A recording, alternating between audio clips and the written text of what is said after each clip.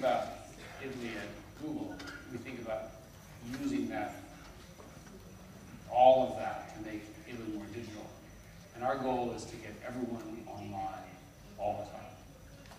So the question to ask is, is everything that's for sale or for any museum visible on this mobile phone?